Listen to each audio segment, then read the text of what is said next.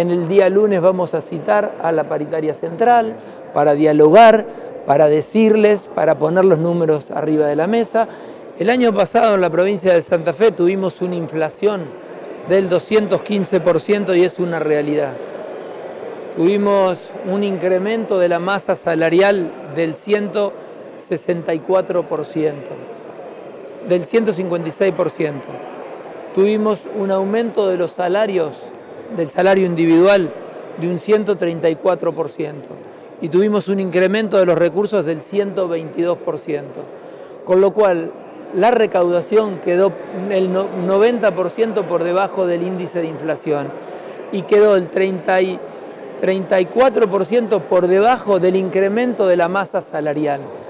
Lo que quiero decir con esto es que es muy difícil para el gobierno de la provincia de Santa Fe, muy difícil para el gobierno de la provincia de Santa Fe, sostener el incremento en función de lo que es la inflación, porque los recursos van creciendo muy por debajo de la inflación en este momento. Entonces nosotros, con los números en la mesa, y también se los mostramos a toda la sociedad, y les pedimos, y se los vamos a mostrar a ustedes, lo que sí vamos a hacer, llevar adelante una propuesta que tenga que ver con el incremento de recursos, que es lo que nosotros podemos pagar.